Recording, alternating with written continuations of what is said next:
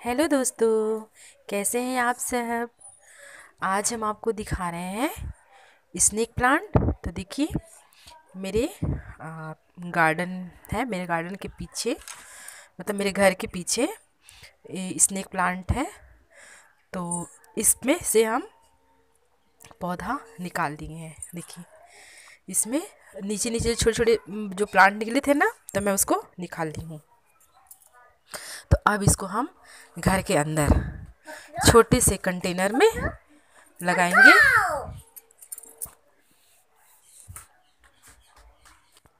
तो इसमें जो छोटे छोटे प्लांट है ना तो उसको हम छोटे से कंटेनर में लगाएँगे। तो मैं यहाँ से भी देखिए, यहाँ भी मेरा है, बहुत सारा इसमें भी स्नेक प्लांट है तो यहाँ से भी मैं निकाल ली हूँ। तो हम इसको एक छोटे छोटे कंटेनर में घर के अंदर लगाएँगे। तो चलिए, देखिए ये मेरा गोबर उठाने वाला एक गमला है। तो इसमें मैं इसमें मैं इसमें मैं, देखिए, यहाँ पे छोटे छोटे मेरा कंटेनर है। ये पाइप का है तो इसमें होल नहीं है। बिना होल बिना होल का ही हम लगा सकते हैं घर के अंदर। और घर के अंदर आप लगाओगे तो आपको बाहर रखने की ज़रूरत भी नहीं है। स्नेक प्लांट ऐसा है कि ये बिना धूप का भी कई साल तक रहता है और बढ़ता भी है। और बहुत सारे उसके पफ्स भी आते हैं। तो मैं आपको आगे दिखाऊँगी। तो मैं एक छोटे छोटे से दो इंच का कंटेनर है। तो मैं इसमें लगाऊँगी। और इसमें देखिए मेरे घर में जो पीछे गार्डन है मतलब गार्डन थोड़ा थोड़ा उसमें थोड़ा बहुत पौधे हैं उधर। तो उधर से मैं मिट्टी लाती हूँ। तो वहाँ जो गैया का जो होता है ना गोबर तो उसका खाद उधर ही रहता है मतलब गाय का जो राख हो ये सब होता है तो मतलब वो खाद जैसा ही वो मिट्टी बन जाता है उधर। तो मैं उधर से ही मिट्टी लाती हूँ जो राख गोबर का खाद मिट्टी सब मिला होता है तो हम उसी में अपने प्लांट को ग्रो करते हैं तो मेरे को खाद का ज़रूरत नहीं पड़ता है। और ऐसे भी स्नेक प्लांट में खाद की कोई ज़रूरत नहीं है। अगर आस, आपके आसपास कोई भी मिट्टी हो तो आप आराम से तो आप आराम से बिना खाद का भी आप इसको लगा सकते हैं नॉर्मल मिट्टी में। तो मैं देखिए, मैं छोटा छोटा पौधा कलेक्ट कर रही हूँ छोटा छोटा प्लांट, जो कि इसमें अच्छे से आ जाए। बड़ा बड़ा प्लांट इसमें नहीं लगा पाएँगे हम। तो जो छोटा होगा, उसी को हम लगाएँगे। अगर बड़ा लगाएँगे तो ये मतलब छोटा दो इंच का कंटेनर है तो इसमें कैसे संभाल भी नहीं पाएगा। तो मैं छोटा छोटा प्लांट को अलग कर लूँगी। और इसमें छोटे ही बने रहेंगे, ये ज़्यादा इसमें बड़ा नहीं होगा। और छोटे छोटे प्लांट देखने में भी सुंदर लगते हैं। और घर में आप इसको लगा के कहीं भी आप इसको सजा सकते हैं।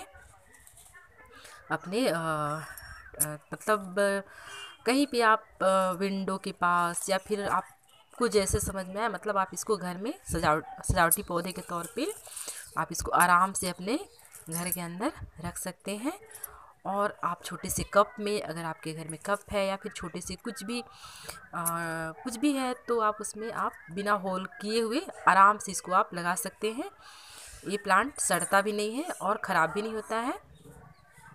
तो मैं आ, उसको देखिए जो बड़ा प्लांट है उसको मैं रख दे रही हूँ और छोटा को मैं धो के अच्छे से क्योंकि हम प्लांट को लगाने के बाद नहीं धो सकते।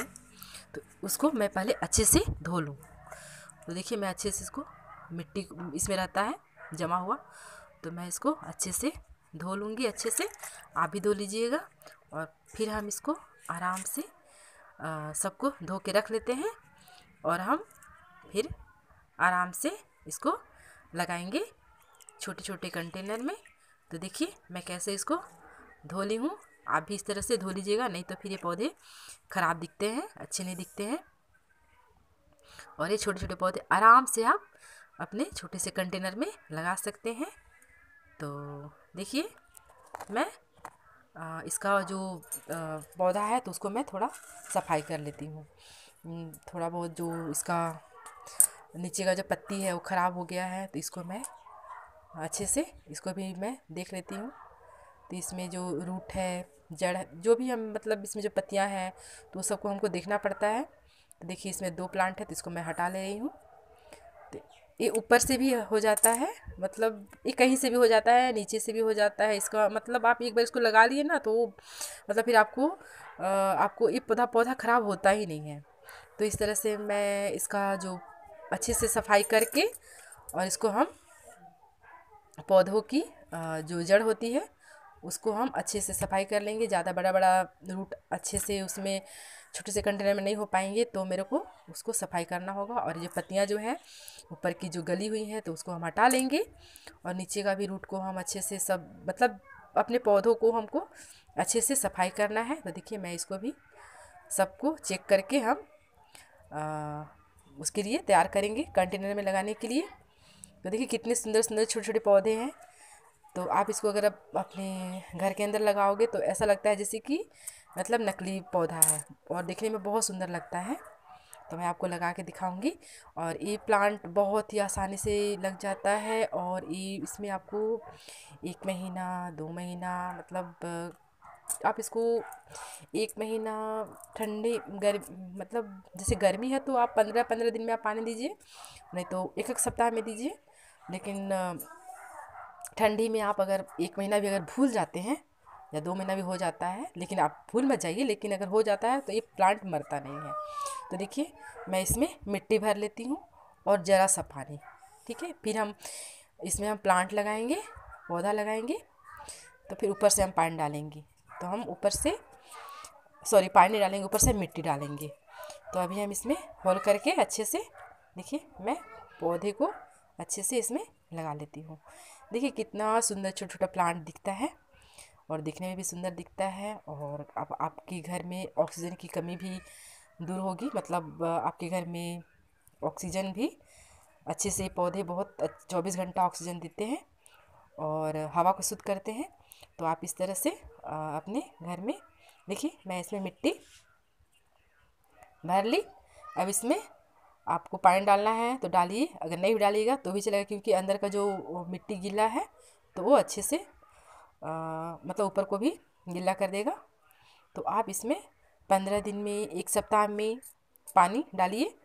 मतलब सप्ताह के सप्ताह पानी डालिए नहीं तो पंद्रह दिन में भी डाल सकते हैं लेकिन गर्मी में आपको सप्ताह सप्ताह देना होगा और ठंडी में आप पंद्रह दिन एक महीना बाद भी डाल सकते हैं तो कोई दिक्कत नहीं है। इसमें पानी की उतना ज़्यादा ज़रूरत नहीं होती है।